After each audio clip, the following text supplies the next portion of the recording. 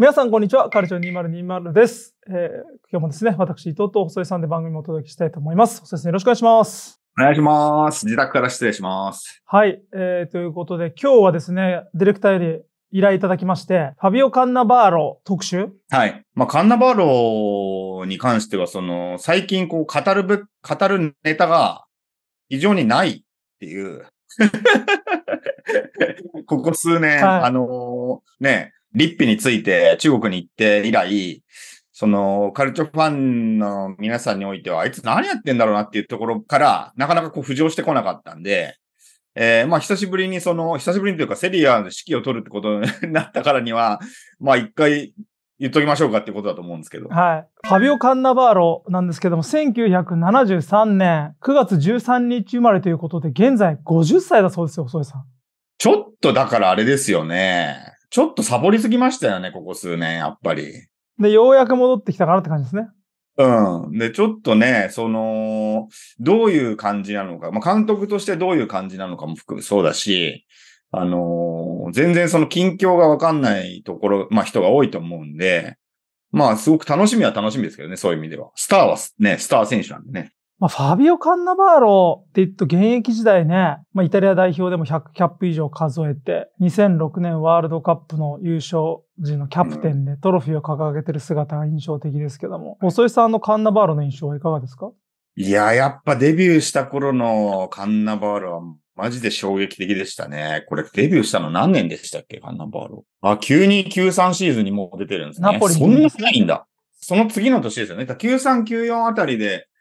27試合なんで、ナポリ。あ、だからナポリの時はだからあんま知らないわ、そういう意味では。僕がだから本格的にちゃんと認識したのはパルマに来て、だ20歳前後ってことになるのかな、これで。22歳ぐらいか。このくらいの時期の、そのまあ、パルマが強かったっていうこともあって、その中にいる若くて小さいけど、とんでもないフィジカル能力のこのセンターバック、なんじゃって、まあ、しかも時代感的に、あの時代のセンターバックといえば、なんつうんだろう、走れない、でかい、うんうんうん。あの、強いってね。そうそうそうそうそうそう。で、それが、あんだけ機動力があって小さくて、でもヘディングめっちゃ強くて、はつらつとしてかっこいい。なんか、おじさんのポジションだったわけですよ。うん、言ってしまえば、昔は。うん、バレージとかビエルコウッドとか、あの、おじさんキャラの人が、後ろでこう、冷静に務めるポジションだったセンターバックに、急に若くてはつらつとした弾丸みたいな人が 出てきて、まあ、それは、これはちょっと見たことないぞっていうので、まあ、驚いたっていうのが最初の印象ですよね。そうですよね。うん、まあ、ナポリっ子でね、ナポリの、えー、下部組織から育ってきて、トップチームにデビューして、うん、えー、チーロ・フェッラーラが憧れだったわけですけども、彼と共にプレーして、えー、なったんですけども、ナポリが、まあ、トップチームで3シーズンプレーしたんですけども、当時なかなかナポリのお財布事情は厳しく、売らなければいけなかったということで、まあ、一番皆さんがよく知ってるようなパルマに移籍するんですよね。うん、で、ね、パルマで初めて、まあ、アンチェロッティと出会うと。ここでもアンチェロッティと出会ってたわけなんですよね。うん、そうか。で、パルマはこの頃イケイケだったんで、パルマラットっていうね、まあ乳製品のメーカーとかイケイケだったんで、その頃、まあブッフォンもいましたし、テュラムもいましたし、うん、センシーニもいましたし、みたいな3バック、まあ2位になったんですかね、確かね。2位だったシーズンとかもあって、ウェファーカップとかコッパイタリアとかカップ戦も取るようになっていて、パルマすげえ強えぞ、みたいな時代で、うん、まあ、当時のパルマやっぱすごい注目チームだったんで、日本でも人気をが出てきてましたし、ブッフォンとかカンナバーロといえばパルマみたいな印象があった時代でしたよね。そうですね。で、まあユニフォームがね、なんかやっぱあのチームの、なんつうんだろうな、イケイケの感じにあの黄色と青のユニフォームが あって、しかもそのなんか若い選手も、まあカンナバールはじめ、あの出てきてたんで、まあブッフォンもそうですけど、その辺のこうなんか、なんつうんでしょうね。今までのそのチー、セリアのチームにはない感じがすごく特徴的だったし、まあ、カンナバールはそういう意味ではちょっとその象徴的な、その新しい時代の象徴的な選手みたいな感じではありましたね。そうでしたよね。うん、で、まあ、パルマで、えー、7シーズンプレイするのかな？パルマで7シーズンプレーするんですけども、僕もパルマに行った時会いましたよ。カンナバール。うん、練習場まで歩いてくるんですよ。ええ あの、ブッフォンと写真撮った時あたりで、あ、そうです。パールマ、カナバーロもいて、か歩いて、歩いて練習場来て歩いて帰ってくるんですけど、そうなんだ。地元この人たちと、うい、みたいな感じで 行って、で、帰るわ、みたいな感じで帰ってくるんですけど、すごい姿勢がいいセンターバックなんですよね。うん。うん。で、いつもニコニコしてる。そう。いうような、本当太陽のような、まあ、ナポリっ子っぽいような感じの選手でね。で、175センチって言ってますけど、絶対ないんですよね。あ、やっぱないんだ。175歳、僕177とかなんで、うん。170ぐらいじゃないかなって。169だと思うな、本当は。マジっすか？知らないっすけど。僕はね、173シート見てる。なるほど。僕らの時代ってほら、スパイクを履いて身長を測ってるってよく言ってたじゃないですか、サッカー選手は。そうですね。はい、うん、まあ、3センチごまかすのは当たり前だと思ってるんで、はい、だ176、交渉176の人はやっぱ173か4だと思ってるんですけど。まあ、それぐらい本当に大きくは見えない選手だったけど、跳躍力で、本当に180超えの選手たちにもヘディングで勝つと。まあタイミングと跳躍力ですよね。いや、あれね、あの本当にその体の中にあるエネルギーの量で言ったら多分過去最強だと思うんですよね。まあね、2006年にワールドカップ優勝したっていうこともあるんですけども、まあ、バロンドールも受賞してね、ディフェンダーながら。それだけやっぱ優れた選手だったのかなって気がしますね。そうですね。だから、あのー、なんつうんだろう。あの時代のサッカーにおいて、そのヘディング、ぜ、超強いはもう、あの、ま、マストな 能力だったわけですけど、そこでなんかあの身長で負けないロマンみたいなのは、サッカーやってる人ならみんなすげえなと思ったと思うし、じゃあヘディングってその高さだけじゃない、その身体能力とポジショニングとスピードとそれからその駆け引きのうまさみたいなところで、なんかこう、カンナバロきっかけに、お、そうか、小さい人でもヘディング勝てるんだ、みたいなのは、なんか研究材料だったんじゃないかなと思ってますけどね。ね小さくても勝てるとか。ね、うん、本当に前、相手フォワードの前の出方とかもうまかったですし。そうそうそうそう。スピードがすごいですやっぱ。うん、一瞬の。僕もね、カンナバーラは本当大好きな選手の一人だった。うん。うん。で、まあ、この人なんかチームに恵まれないのか、パルマも経営破綻、財政危機に陥って、うん、インテルに移籍するんですよね。はい。最初インテルでしたね。そう。パルマから、そのテュラムとかブッフォンがユベントス行くルートだったんで、ユベントスかなと思うんですけども、インテルなんですよね。これ当時、でも最初はユーベ濃厚っていう風になりましたよね、確かね。うん、どうだったかちょっと覚えてないですけど、まあ、どっちかみたいな話はありましたよね。うん、うん。で、まあ、インテル行くんですけども、まあ、クーペルさん、当時クーペルだったんですよね。あんまりうまく、チーム状態が良くなかったから、カンナバール本人的にもそんなにいいパフォーマンスを出したわけじゃなくて、出場時間こそ伸ばしてましたけども、なんでしょう、タイトルには届かなかったと。うん。で、まあ2シーズンプレイした後に、えー、ユベントスに移籍すると。でも、なんか、まあ確かにそうだなと思いつつも、まあユベントスではもうレギュラークラスで当然プレイするんですけども、そこで来たのがまあカルチョポリ。うん。2004年に移籍したんですけども、2シーズンプレイして、カルチョポリがやってきて、うん、まあその夏にワールドカップこそ優勝するんですけども、まあユーベントスがセリエ B に降格させられたことによって、カンナバールはまあ違うチームを選ぶと。結局、移籍した後にバロンドラ受賞するわけなんですけども、当時、まあ今もそうですけども、えー、世界最高峰と言われていたレアル・マドリードの一員になるんですよね。これは結構、だから当時のゆうべ、まあ、デルピエロとか、その、ネドベドとか、その辺がこう残ったからこそ、まあ、カンナバール、後から来たくせにそのまま行っちゃうのか、白状なやつね、みたいな、あのニュアンスはだいぶあったと思うし、まあ、ただ、一方でその、能力的にその、まあ、バロンドール受賞するのはちょっとに、えー、2006年の最後、2007年の頭ですけど、そのワールドカップ優勝して世界一のセンターバックみたいなこう見られ方をしたときに、まあさすがにセリエ B でプレーするわけにもいかなかっただろうから、まあレアルマドリーにあそこで挑戦できたのは、まあ良かったと思いますし、そのトピック的に面白かったと思いますけどね、その。まあそうですよね。うん、まあ当時だからユベントスがまあ、イブラヒモビッチもバルセロナ行ったかな、うん、ユベントスに忠誠を誓えるか誓えない選手がいるかみたいな感じでね。そうそうそう 結構魔女狩りみたいになってた時ではありましたよね。なりましたね。だから、まあ、今、未だにやっぱあの時期、あの1年に残った選手とか、頑張った選手に対する、そのユベントス側からのこう見見方っていうのは全然違うんだと思うし、まあその辺はまああるんでしょうけど、でもまあカンナバロのあの遺跡はもうしょうがないかなって感じしますけどね。まあだからあの時って本当デルピエロもトレゼギもネドベドも、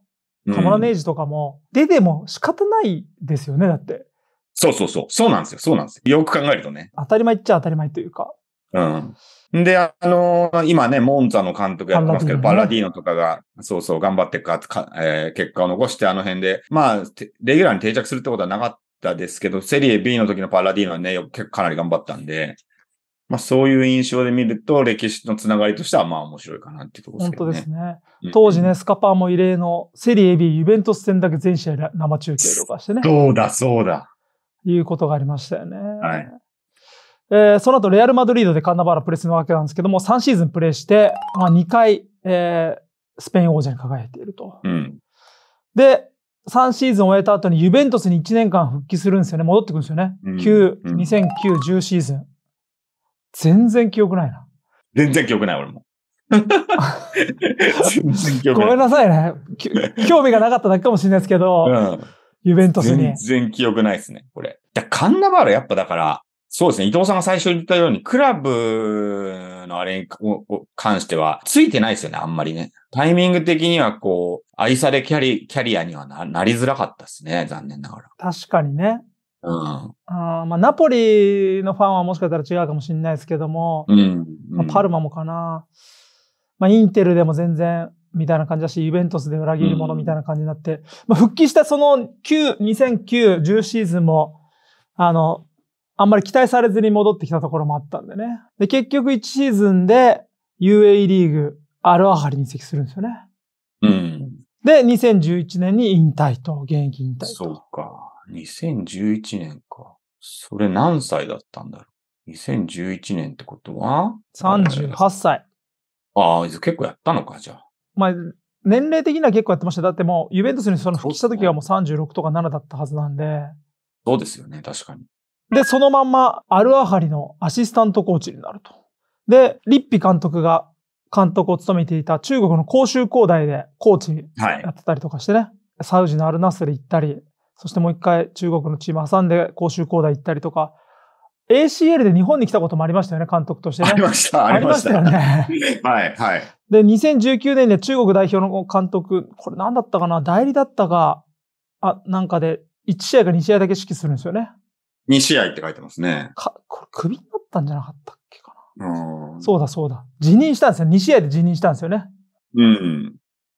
その辺のキャリアがまあやっぱりどうしても落ち着いて結果を残したっていうのはなかったからこそなんかちょっと何やってんだろうなっていうふうになっちゃいましたよね。うん。で、まあやっぱりその引退してからのキャリアが割とアジア、中国、サウジ、まあ、UAE とか AFC 管轄権のところで監督とか指導者やってたんで、なかなかヨーロッパサッカー、うん、まあイタリアサッカーを見てる我々には情報は入ってこなかったっていう感じでしたかね。そうですね。イタリア国内ではどういうふうに見られてたんですかね？どうなんでしょうね。まあ、リッピー、2006年のワールドカップ監督のもとでね、うん、まあそれでキャプテンと監督っていう中でしたからね。当時はでもやっぱ中国に行った時とかは、あの、リッピみたいな監督になるんじゃないかみたいな期待は わずかにもありましたけどね。いや、ありました、ありました。全然ありましたよ。やっぱカンナバールはね、言っても、我々のそのワールドカップ取ったチームのキャプテンなんで、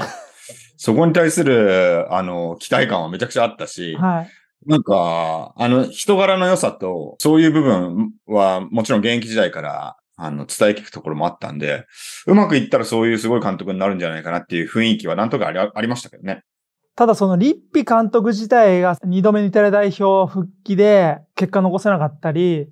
うん、そのリッピ監督のその名前が落ちてくるにつれてカンナバーロもなんか道連れになった感は否めないですけどね、なんか。確かに。別の、別なんですけども、ルート的には何かあったかなっていう印象もありますね。結構ベネベントの監督になった時に、どうなるかなって一瞬期待感ありましたけど、それがやっぱうまくいかなかったことで、ちょっと道を失った感じはありましたよね。まあ本人が、まあ当然中国とかサウジで監督、指導者やってきて、まあ母国であるイタリアでの指導者をやりたいという中で2022、2023シーズンにセリエ B のベネベントの監督に途中就任するんですよね。で、17試合を率いて3勝7分け7敗と。で、なんならその17試合の間の途中に、もう俺辞めたいっすって言って、弱音を吐いて 辞任をしようとしたんだけど、うん、契約残ってんだからダメだっつって、あの、クラブが引き止めて数試合やったんですけども、まあ、当然そんな気持ちの監督のもとで好転するわけなく、チームをタイに。で、ベネベントはなんならその年、セリエチー3部に降格したんですよね。ああ。だからもうベネベントのファンからしたらめちゃくちゃ嫌われてるでしょうね。ふざけんなってなりますよね、それはね。知らないですけど、直接聞いたわけじゃないですけど、嫌われてると思いますよ。まあ、そもそも途中で辞めたいっていうニュースが出ちゃう時点で、ちょっとかなりやばいと思うんで。もうニッチもサッチもいかねえよっつってね、うん、辞めるちゃうんですけど、本当に辞めちゃうんだみたいな。で、まあ、カンナバールって人柄もありますけども、あの、細井さんも携わっていた、あ、ズーリクラブ、細井さんも作ってました、はい、もちろん。カンナバールに家に訪問とかっていうのがありましたね、特集でね。そうそう、あれ、岩本さんがだから、行って、カンナバールの自宅案内みたいな企画、まあインタビューはもちろんあって、プラスこう、自宅をあの、大公開みたいなのがあって、すごかったですね、あれよく考えたら。ねえ。ルパンが大好きでね。うん、ルパンのフィギュアとかいっぱい飾ってあったんですよね、当時。当時、ミラン、ミラノ時代かな。インテルにいたミラノの自宅じゃなかったかな、トリノだったかな。多分、日本、日本が、もともとその、好意的で日本に対してそういう、まあ、漫画ないそうそうそうそうそう。そういうのもあって、ああいうね、日本の雑誌の関東インタビューで自宅公開してくれるぐらいですから、まあ、もちろんね、日本 B 級はあったんじゃないですか。本当にね、あの、奥様もなんか確かナポリの幼馴染かなんかと、の方と結婚してね、そいうような方でした。でも監督の話に戻りますと、うん、まあ本人が望んでいたセリエ A での監督をやりたいという中で、うん、この窮地に追い込まれてるウディネーゼの監督になったわけですよ。この決断を、おささんどう思いますか？カンナバーロ側からの話でいいんですけど。だからもうやりたくてしょうがなかったんでしょうね、本当は。でも契約がもう2024年の6月までなんですよ。本当に。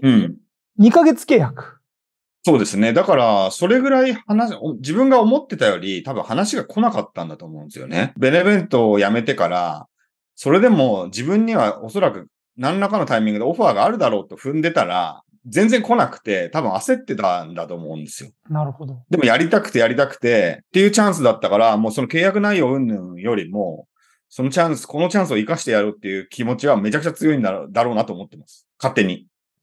あの、ウディネーゼはその、ベローナに敗れて、残留争いしているベローナに、第33節、ベローナに敗れて、チョッフィー監督の、まあ、解任を決めるわけなんですけども、その時に、まあ、多分チョッフィー監督さんのベローナ戦が運命の分かれ道だよって多分言われてたと思うんですけども、フロントからも。うん言われてないかな？わかんないですけど、いう、まあ、ジャッジする本人も覚悟を決めたと思うんですよ。だってベローナに負けたら、ね、残留争いも直接対決ですから、いう中で負けてしまって、で、ウディネーゼの選択肢は、カンナバーロとエドワルド・レイヤだったんですよね。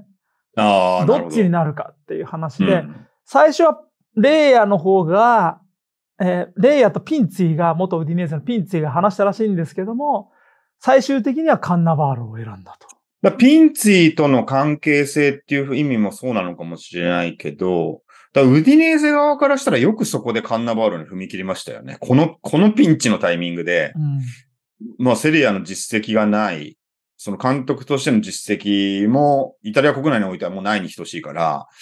そう考えるとよくここで、まあ、ウディネーゼみたいなチームが、そこに踏み込んだのは結構勇気のある決断だと思いますけどね。そうですよね。うん、で、まあ、監督がファビオ・カンナバーロなら、コーチはそのピンツィも入り、そして弟のパオロ・カンナバーロも入り、うん、えー、トロイーゼも入り、みたいな、うん、で、テクニカルダイレクターを務めてるバルザレッティは解任されるみたいですけどね。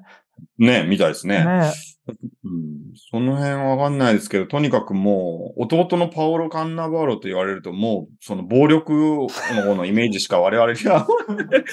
うわそうなんだ。ファビオではなく。ファビオではなく。ナポリ時代のパオロ・カンナバーロ。そうなんだ、面白い。もう、暴力、暴力。ひどいぐらいの暴力です。この人、本当に今、あの、VAR じゃあるじゃないですか。もう全退場。全部退場です。34試合退場します。森本さんの影響が強すぎて、ちょっとその、そのね、あの、すぐそれは思いついちゃうんですけど、はい、まあ、家族的なものを持ち込むと、あんまりこう、いい結果を生むようなイメージがあんまりないんで、そこは心配ですけど、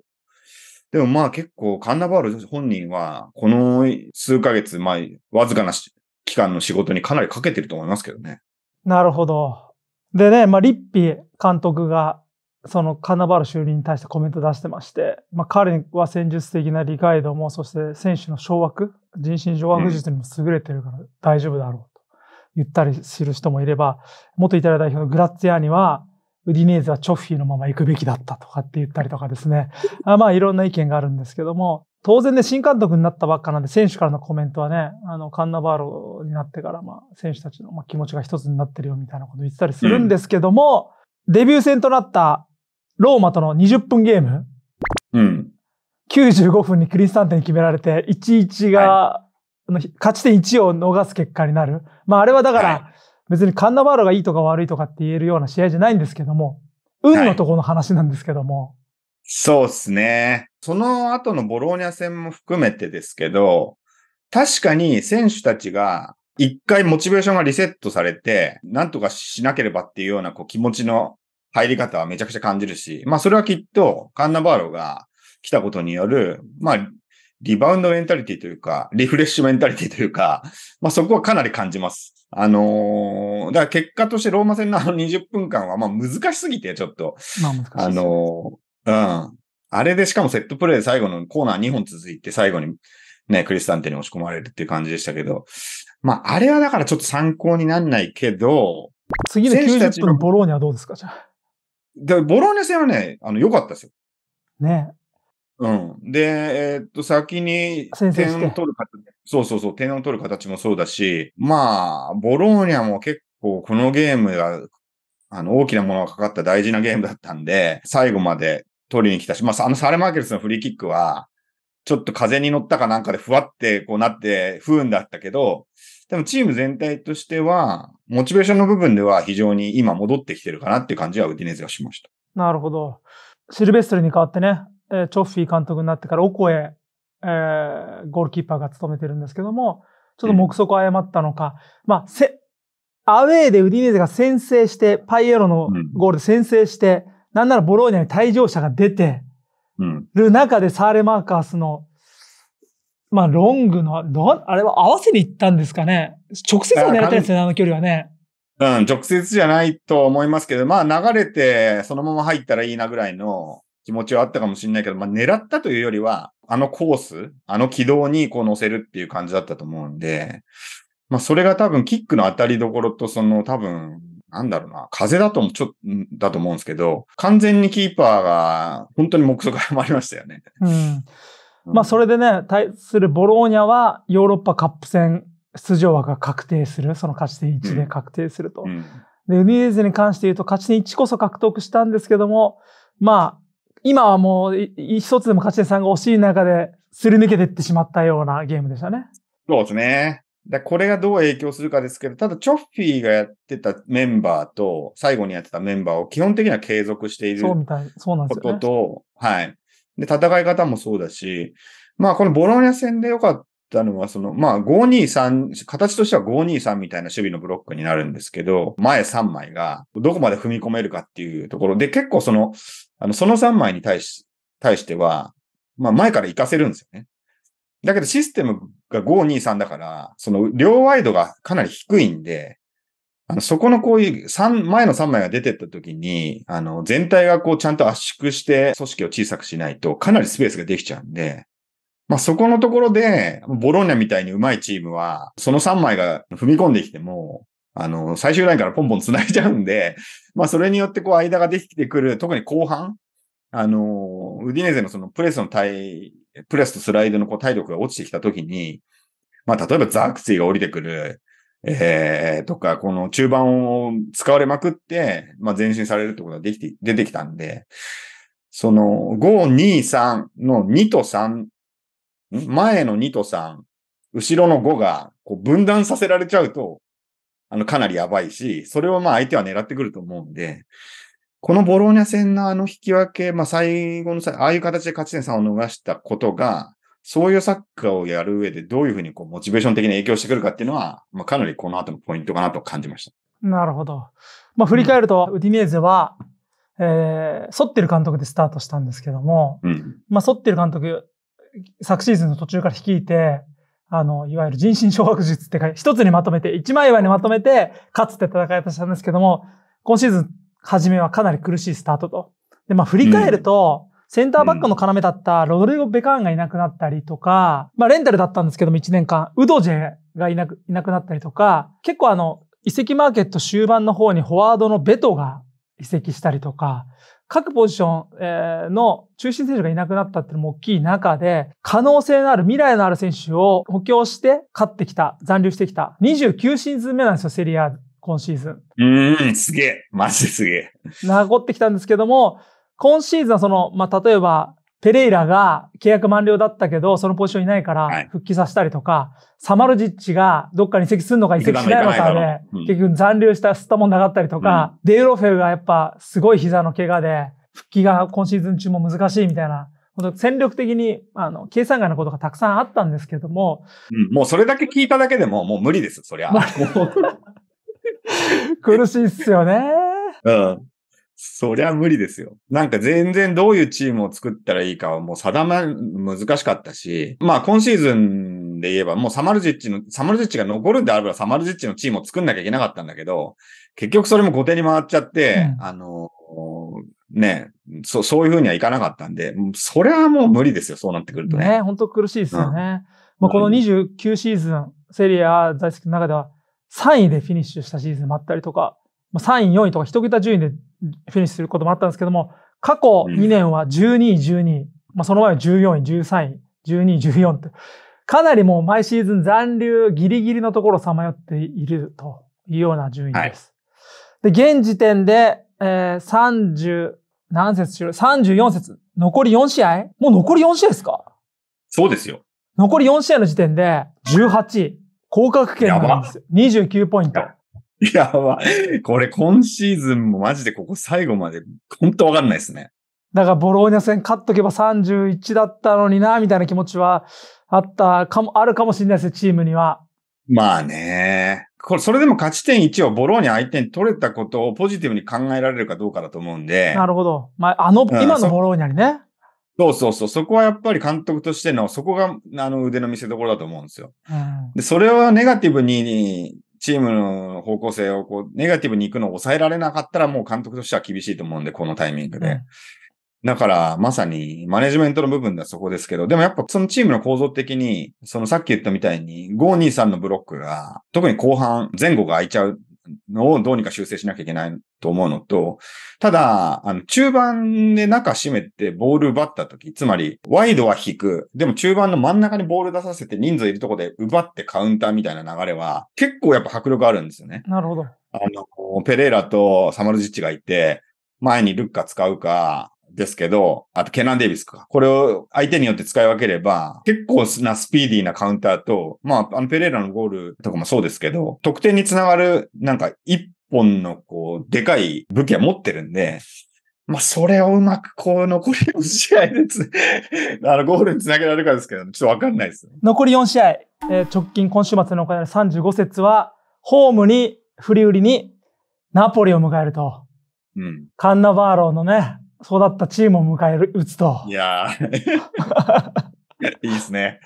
ナポリもね、一つでも順位を上げたいというふうに思ってるでしょうし、ね、一時期カンナバーロが、その、ナポリの今シーズン監督ごたごた問題の時にな、カンナバーロの名前が上がったりとかもするようなことありましたからね。はいはい、ここでもしかしたらいい戦いを見せれば、本当に。確かに。フルスの監督になる可能性もあるかもしれないし。で、まあ、ナポリに勝つ、勝ち点を拾う得ればベストだと思うんですけども、今シーズン言われてるのが残留ラインは35ポイントじゃないかって言われてるんですね。で、ウディネーゼ今29なんで、残り4試合で、まあ、2勝すればというふうに言われている中で、残り3節ですよ。えー、36節、アウェイレッチェ。37節、ホームエンポリ。そして38節、アウェイフロジノーネ。えー、やば。まレッチェはちょっと、ちょっとだけ一歩抜け出した感はあるんですけども、エンポリ、フロジノーレと、もまさに大一番。すごいな。それでだって、ナポリの試合もあるんでしょ？それめちゃくちゃもうスリリングな 組み合わせになってますね。だからそういった多分、残りの対戦の組み合わせも見た段階で、カンナバーロは、その、細井さんが言ってた賭けに出たんじゃないかなって気がするんですよ。なるほどね。わかんないですけど、レッチ、エンポリ、うんフロジノーネに3連勝すれば残留見えるっしょ、みたいな計算で引き受けたのかもしれないですし、レッチェもこの前の勝ち点3で36まで伸ばしたんで、ちょっと気持ち的には楽になってると思うんですよ。そうですね。今だから30、その下カリアリに対して4ポイント差離れてるってことは、だいぶ気持ち的には一回緩むと思うんで、まあ、レッチェは大丈夫そうだと思いますけど、まあ逆にその下の側からするとチャンスかもしれないですね。36まで届くチームはもうないんで、ほぼ。レッチェはほぼセーフティーに入ったと思います。うんなんで、カリアリ、フロジノーネ、ベローナ、エンポリ、ウディネーゼ、サスオロから、まあ2チームが降格すると。どこも降格してほしくないですけどね。そうなんですよ。本当にそうなんですよ。サレニターナの降格が決まってしまってね。うん。ウディネーゼ降格したらだから何 ?30 年ぶりぐらいみたいになる。そういうことですね。センジメルセリビになっちゃうってこと。やば。大事件ですね。なんかやっぱ難しいですね。この残留力なんてよく言いますけども、エンポリもね、2コーラーになってから結構勝ち点稼いでるかなって印象なんですけども、意外にそうでもなかったり、まあそうですね。最初のやっぱ、最初のブーストはあったけどみたいな感じになってますもんね。まあベローナですかね。一時期の最悪な時よりは、ちょっと浮上してきてるベローナ。うん。で、フロジノーネもようやく、あの、持ち前の攻撃が良くなってきたんで、勝ち点広いようになってきましたけど、31か。で、ラニエリのカリアリもね、厳しいですね。こう見ると。まだ。だからやっぱり結局最後の方見ると、昇格組ってやっぱ苦しいんですね。フロジノーネとカリアリねね。。そうそうそう。結局、そう、フロジノーネもカリアリもベローナもエンポリもいい選手いるし、一時期いいサッカーやってるし、全然そのシーズン通して悪いわけじゃないけど、けどトータルでその星取りだけ見ると、どうしてもこのチームが下に来てしまうってのはしょうがないし、逆にそっから上見ると、あ、それはしょうがないよねってなるんですよね。今日はまあ、カンナバローをフックにウディネーゼなわけですけども、ウディネーゼって言うとやっぱりね、あの、これまで名選手もたくさん生んできたし、まあ、ディナターレもそうですし、今はコーチになってるピンツィもそうですし、ドミッツィとかもそうですし、フローロ・フローレスとかね、イヤクインタとか。はい。結構あの、もう今日の収録にあたってウディネーゼのそのサイトとか見てたんですけど、ファンサイトとか。うん割と昔の OB なんかがいろいろコメント出したりとかして、うわ、この選手もいたよね、みたいな感慨深くなっちゃいましたけどね。いやー、だってもう名選手輩出しまくってるし、うん。それこそこの30年においては、一時期主役級の存在感ありましたから。ね は、ザッケローニ監督が率いていたりとか、それこそ今アトレチコですごい髪型になってる。デパウルがいたりとかしたわけですから。本当っすね。デパウルよく我慢したよな。本当。いや、デパウル、ディネーゼいたんだぜって、なかなかね、想像つかないですけどね。ね、もし降格してしまうようなことがあると、結構草刈り場になってしまいそうな感じもあるんで、まあ、何より、僕ら世代のカルチャーファンにとっては、やっぱりカンナバーロはもうちょっとちゃんとしたスターであってほしい。で、なんか、うんな、ほら、選手終わってから何も輝かないなんて、そんなことが許されるあれじゃないんですよ。そうですね。で、これは、やっぱりあの頃、その90年代後半に、その、ネスタ・カンナバーロのセンターバックに夢を見た我々としては、あの二人が、まあ、監督になってももうちょっとちゃんと浮上してこないと、うん。面白くないんで、確かに。もう本当ただただやってくれっていう 気持ち、まあ多分、セリアに残留することができるならば、1年間のオプションとか、まあ交渉交渉に入ると思うんですよね、当然ね。うんですよね、多分多分ね。だから残留して、来シーズンも楽しませてくれるってことですね。そうですよ、そうですよ。だって、本当にその、まあ、こういうこと言い方したら悪いけど、バレージ、コスタクルタじゃないカンナバーロ、ネスタの夢っていうのは、かっこいいイタリア代表の象徴的な 二人、ペアだと思うんで、あれはもう一回ちょっと、もうちょっとね、感じたいですからね、そういうのね。ね、ただあの、デロッシとカンナバーロのツーショットとかもやっぱ、まあ去年もデロッシも2部でやってたからあれなんですけど、セリエAであの二人のあれが見れたりとかね、写真が見れたりとかするだけでやっぱ熱いし、チアゴ・モッタ対カンナバーロだったりね、この前分のボローニャ戦がね、いうのもたくさんあるわけですから、まあ上がってきてほしい。残留してほしいですよね。29か苦しいな29はかなり苦しいですね。まあ、細井さんも大好きなデウロフェウがこのまんまだって怪我したまんま、ね、B で残るのかとか、チームがなくなっちゃうのかってなったら寂しいですしね。寂しい。だからもう本当にね、このまま消えていって引退を決断するみたいなのはあまりにも寂しいから、デウロフェウもまだまだ全然見たいし、ロベルト・ペレイラとのコンビをまだまだ見たいんで、